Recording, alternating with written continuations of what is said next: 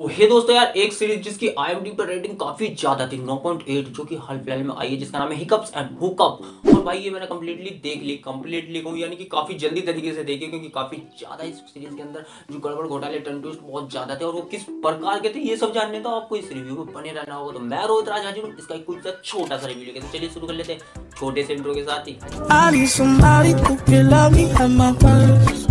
अब देखो इस सीरीज़ को खत्म करने के लिए आपको आठ एपिसोड देखने होंगे और आठ एपिसोड आप किस किस भाषा में देख सकते हो? तो हिंदी, तमिल, तेलुगु, बंगाली और साथ ही साथ इंग्लिश में आप इन्हें देख पाओगे। जी हाँ दोस्तों, अब ये कहाँ पे प्ले हुई है? तो वो लैंड गेट प्ले पे ही प्ले हुई है। जी हाँ दोस्तों, वहीं पे इसकी स्ट्रीमिंग की गई है। और भाई लैंड गेट प्ले की ये पहली वेब सीरीज़ है। और इसे देखने के बाद मैं कहूँगा लैंड गेट प्ले से कि वेब सीरीज़ प्लीज़ छेड़े ना। उनमें ना घुसे। आप मूवी वाले हो तो मूवी पर ही बने रहें। क्योंकि भाई देखो इस सीरीज़ का कुछ काम धाम और रंग ढंग सभी ऐसा था। अब कैसा था उस सबको जानने के लिए तो आपको इसकी कहानी जाननी होगी तो ज़्यादा पहले ना फैलाते हुए सीधा कहानी पे आ जाते हैं। तो कहानी फॉलो करिए प्रतीक बब्बर और लारा दत्ता जो कि बहन भाई हैं। और जो दोनों ना मतलब कि अपना अपना पार्टनर चुनने के लिए डेट पे जाते हैं। भाई, मैं वहाँ जा रहा हूँ, तू वहाँ जा, ठीक है? लेकिन भाई, इसके अंदर अजीब गरीब चीज़ तो वो हो रही है कि लारा दत्ता तो जिसके साथ गई थी, उसे अपने घर ही लिया उसके साथ सेक्स किया। भाई, सुबह उठा वो लड़का और प्रतीक बब्बर उधर से आया ब्रेकफास्ट करने और वो लड़का कमरे से निकल के आया ब्रेकफास्ट करने, यानी तीनों ब्रेकफास्ट कर रहे हैं। तो आप समझ सकते हो कि फ़िल्म का जो कॉन्सेप्ट था, वो तो भाड़ में गया। अब तो बस यही बचा है। यानी कि आप कह सकते हो, सस्ता एल्ट वाला जी लाइन गेट प्ले ने प्ले कर दिया जी हाँ दोस्तों,